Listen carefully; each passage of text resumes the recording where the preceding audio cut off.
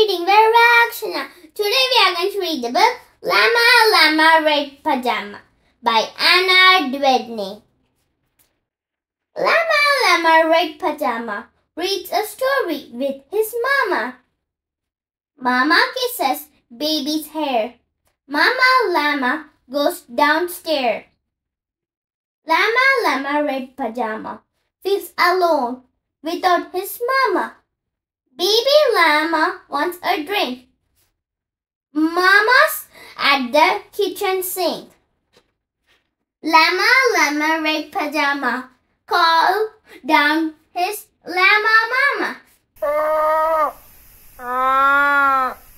Mama says she will be up soon. Baby llama hums a tune. Llama Llama Red Pajama waiting, waiting for his mama. Mama isn't coming yet. Baby llama starts to fret. Llama Llama Red Pajama whimpers softly for his mama. Mama Llama hears the phone. Baby llama starts to moan.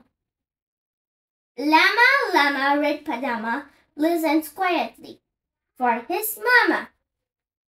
What is Mama Llama doing? Baby llama starts boo-hooing.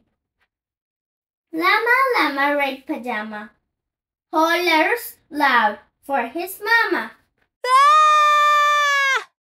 Baby llama storms and pouts.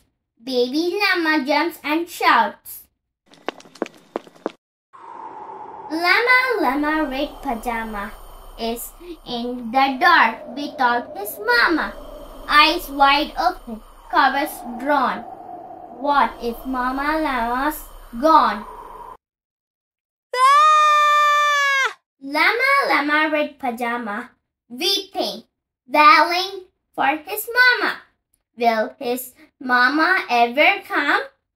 Mama Llama run, run, run!